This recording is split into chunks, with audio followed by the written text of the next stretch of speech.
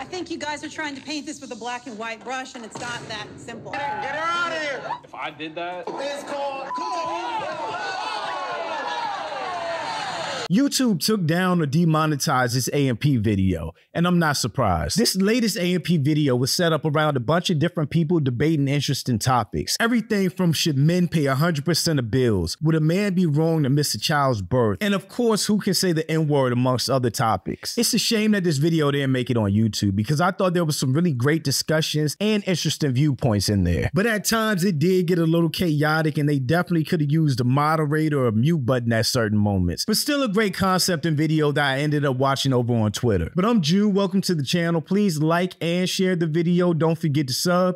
Now, let's get into it. AMP says if you must choose between visiting your best friend as he is dying or your child being born, you should choose visiting your best friend. It's two ways you can look at it, depending on how many kids you have.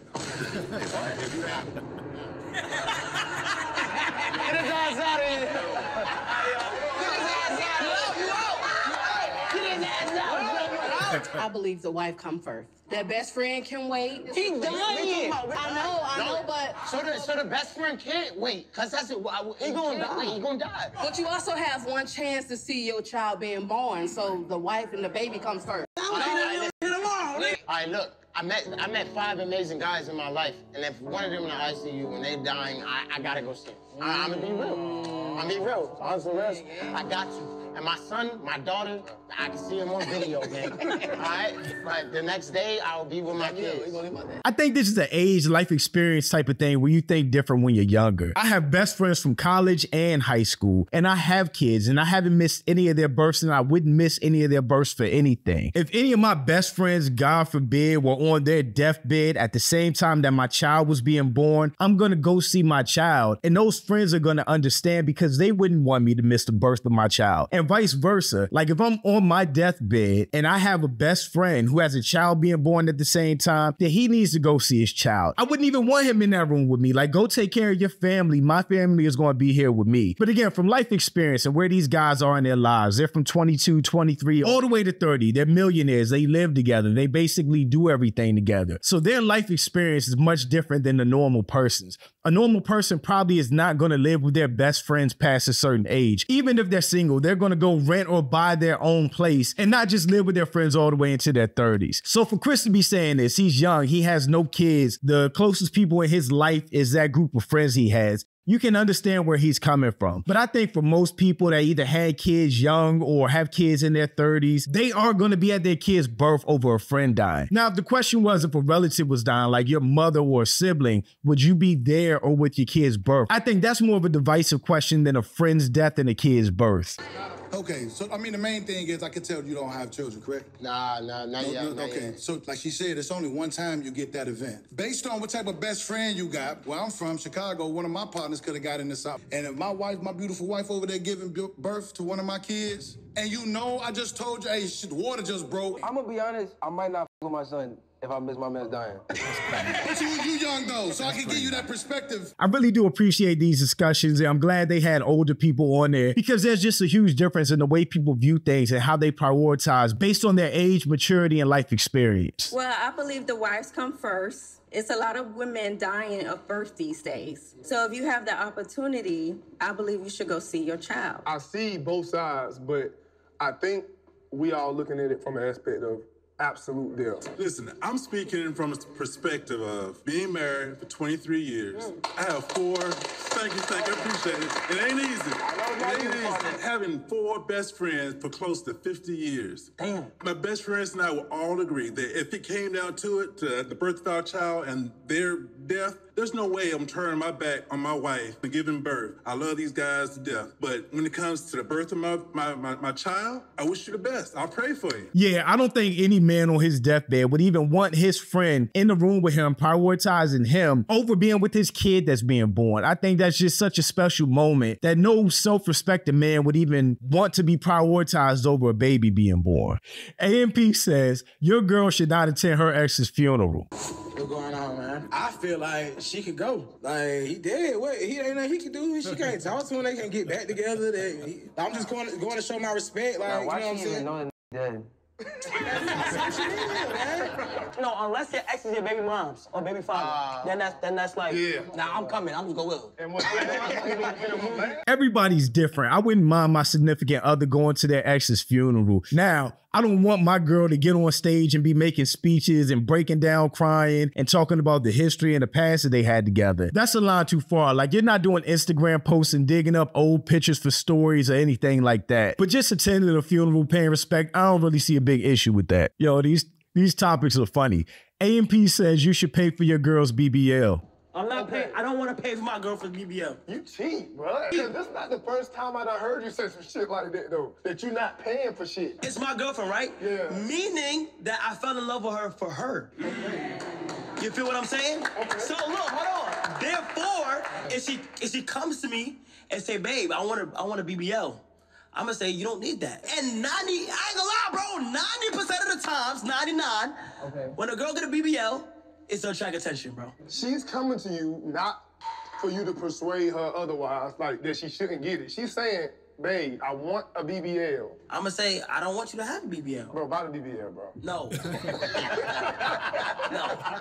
People get like cosmetic shit, boost their own personal self-esteem and shit, how they feel about themselves. Veneers, BBL, Yeah, all that but- shit is included because Yeah, like veneers, veneers and shit like that. Okay. Yeah, but it's the same thing though. Like people get veneers because they don't like they smile, and, and it's affecting their self-esteem. I agree with Duke on this one. If your significant other, your girl's coming to you saying, I want to do this, not asking your opinion or anything like that, but this is something I want to do. Can you help me with it? I don't see the problem in helping with it if you got it. If y'all are locked in, you know that that's not about nothing other than what she wants to do for herself. I addressed the whole BBL thing in a whole other video. I, I don't think it's a problem if a person wants to do that for themselves and you can help them financially in that situation. If I'm marrying your boyfriend, it is my job to make you feel beautiful as, as how you are naturally. Gang, I ain't gonna lie, I have a big forehead.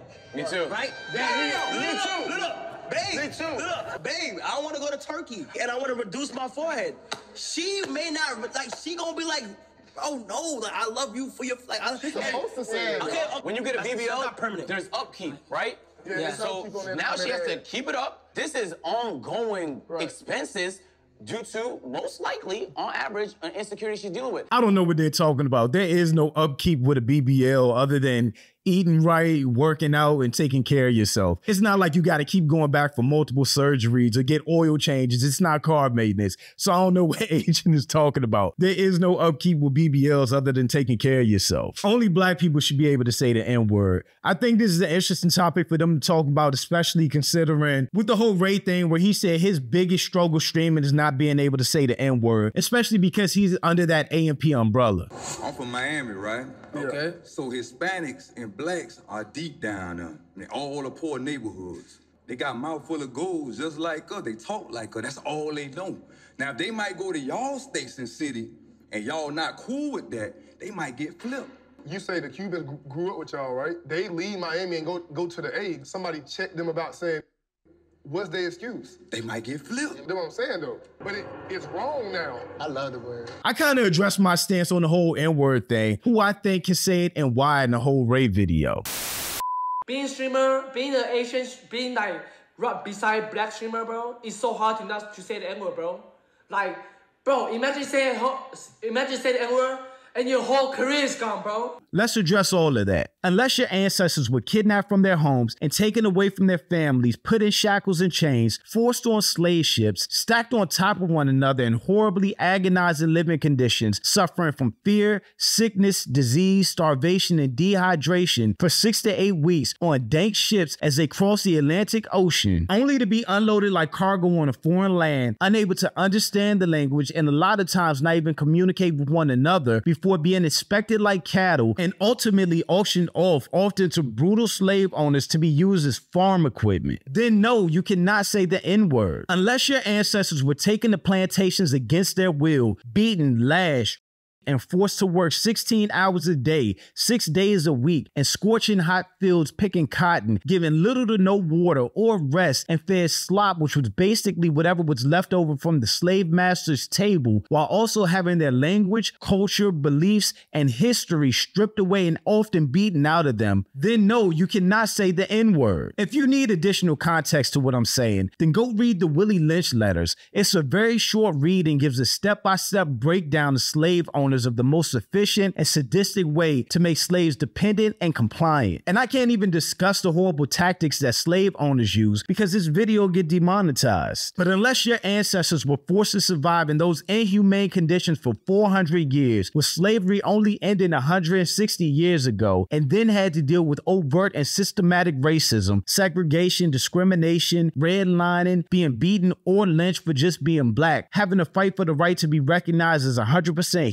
human, and having to march and boycott for the right to drink out of the same water fountain as white people, eat in the same restaurants, go to the same schools, live in the same neighborhoods, and vote, then no, you cannot say the N word. Unless any of those pertain to you, your family, or ancestors, or they were impacted by the transatlantic slave trade, then I don't want to hear any complaining about you not being able to say the N word. I feel like it's a derogatory way to use the word and it's a cultural way to use the word. So who can say it to you then? In your friend group and you chilling, and that's how y'all talk. It's, it's just the way of speaking. It's not like you're not coming at them. Like you're not saying that disrespectful. So that means anybody If can you're say not it. That means that you're saying anybody can say it then. No. Cause if I have my white friend CB, Yeah, CB, come and here. I'm like, yo, CB, CB, come here, man. CB, come here, CB, CB, come here, CB, come here. And he say, and I'm like, CB, like, what's good, my? He just coming, you know, something. Yeah, but that's how we talk.